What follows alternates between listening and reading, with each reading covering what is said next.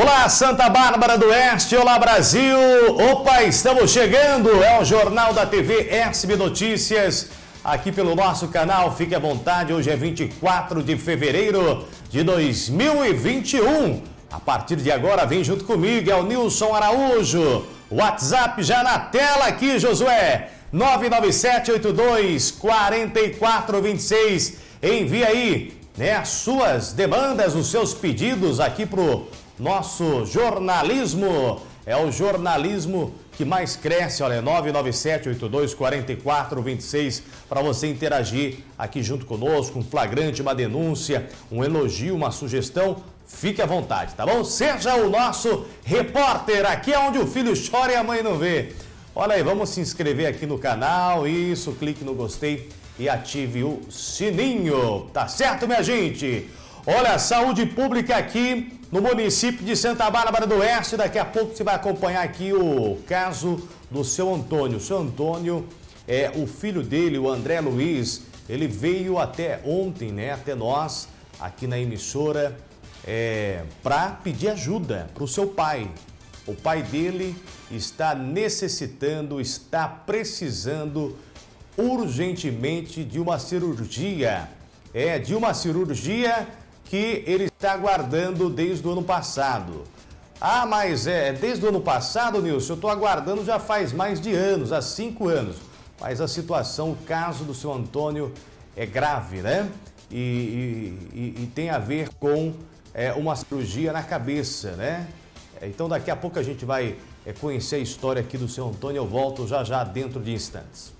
Trajeto Caminhões e Pesados Multimarcas tem caminhões truco e toco, cavalo mecânico, carretas, ônibus e micro-ônibus, vans, tratores e implementos agrícolas, também carros para aplicativos. Linha de créditos especiais para caminhoneiros, produtores rurais e motoristas de aplicativo. Liberamos créditos, mesmo para pessoas negativadas, mediante alienação de bens. Ligue 0800 606 8155.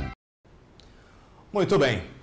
Olha, Antônio Alves da Silva, de 61 anos. Ele é morador aqui da Rua Amparo, no bairro São Joaquim.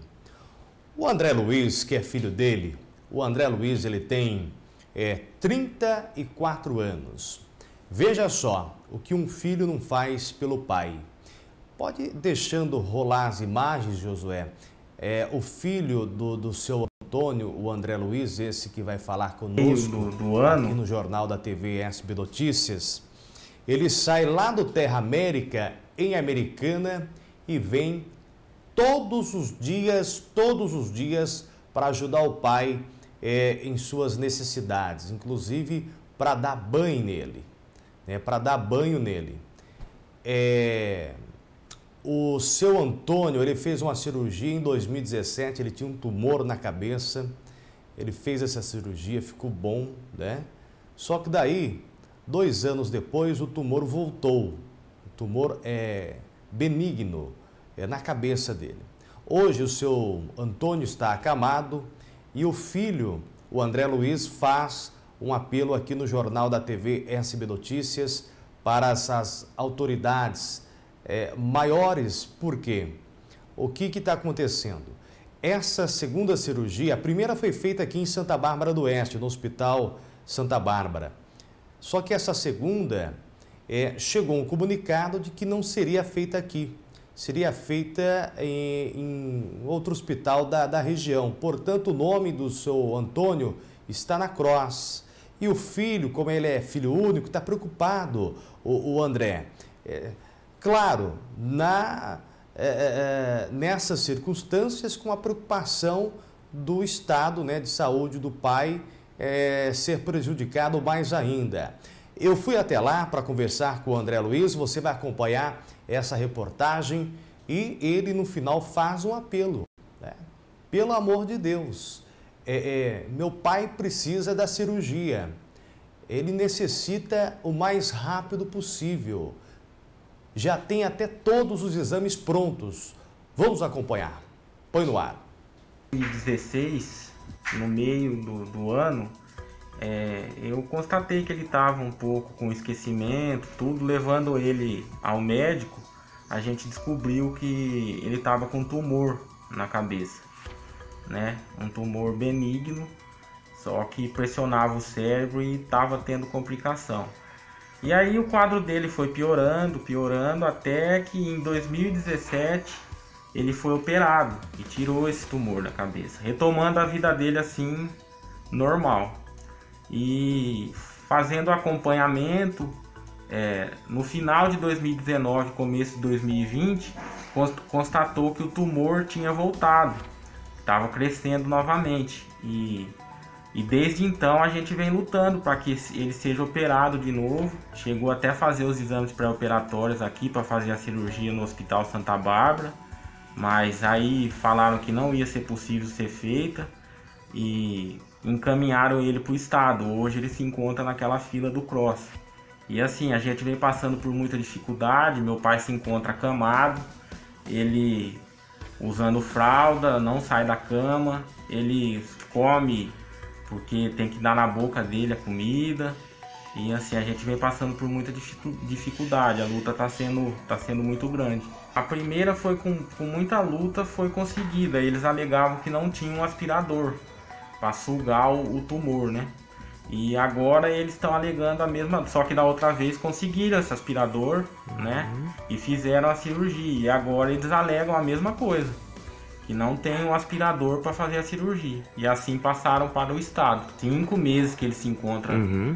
com bastante dificuldade, até não conseguir andar mais e ter que deixar cuidar dele na cama. E aí foi gradativo, né?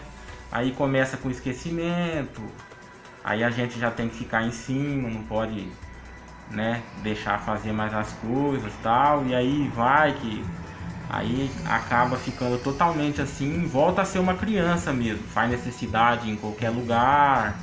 E aí vai sendo cada vez mais gradativo. Ele perdeu os movimentos do lado direito, né? Não tem mais movimento, porque o tumor comprime o cérebro uhum. dele. Mas ele entende o que, é, que, que, a gente fala. Ele entende parcialmente, eu acho que sim, só que ele mal fala, uhum. né? E ele não consegue, né? Não consegue falar mais e nem se, se locomover também. Todos os dias eu venho dar banho nele, né? Ah, meu pai e a minha mãe são tudo para mim. Uhum. Eu tudo que eu puder fazer por eles eu vou fazer. Então, eu queria pedir para nossas autoridades aqui competentes, né, olhar para o caso do meu pai e que ele seja operado para acabar com esse sofrimento, né? Porque a gente vem sofrendo demais. Eu vejo a minha mãe sofrer muito também e é muito complicado. Então eu peço às nossas autoridades para que para que olhem e que ele seja operado o mais rápido possível.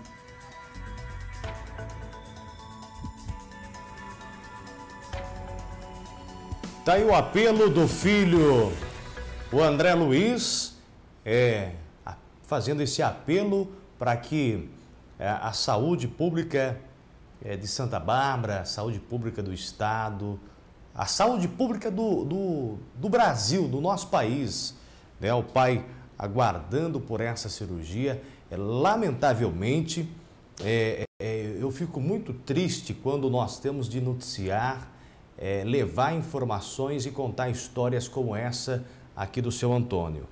Olha, chegou aqui, é, é, é eu tenho aqui em mãos é, a carta que veio do Hospital Santa Bárbara, dizendo aqui o motivo por que a cirurgia não é, iria ser feita aqui no município de Santa Bárbara. Deixa eu aumentar aqui a minha. Isso, a, a, a luz. Olha só. É, o caso dele foi em junho de 2017, evoluiu em 2018 e também em 2019, porém em 2020 evoluiu é, ainda mais. Olha só, com o passar do tempo, a situação do seu Antônio foi ficando difícil. E um dos motivos pelo qual a cirurgia não seria feita aqui em Santa Bárbara do Oeste, né? É porque o, o hospital né, Santa Bárbara, o município de Santa Bárbara do Oeste não dispõe de aspirador ultrassônico ou microscópio. Tá aqui, ó. Tá aqui, nós temos. Não vai dar muito para vocês verem, minha gente. Mas, ó, tá aqui. É, é, esta carta, se eu ver, quem assinou aqui foi o doutor Ian. O doutor Ian é, neurolo, é, neuro, neurologista, isso mesmo. É, deixa eu ver a data aqui que chegou. A data, se eu ver se tem a data aqui da, da, deste. Eles não colocam data, né? Impressionante o negócio desse aqui, ó. Não, tá sem, não tá datado, né? Não tá datado. É, essa, essa carta aqui foi que o, o André recebeu em dezembro, em dezembro do ano passado. Estava tentando encontrar aqui a data, mas foi em dezembro, o André disse que essa carta chegou ao conhecimento. Mas como não? Como não tem é, é, é, aspirador, é aspirador, né? Aspirador. A, a, a, o hospital não dispõe de aspirador ultrassônico ou microscópio é, é, cirúrgico. Por isso que a, a cirurgia não seria realizada aqui. Pelo amor de Deus, o, o seu Antônio precisa ser operado o mais rápido possível. Ele já não anda mais, né? Ele, ele usa fraldas. O filho sai todos os dias de Americana e vem para Santa Bárbara para cuidar do pai. É? é? residem a, a mãe do André e o pai na casa, mas a, a mãe não consegue é, é, é auxiliá-lo em todas as suas necessidades.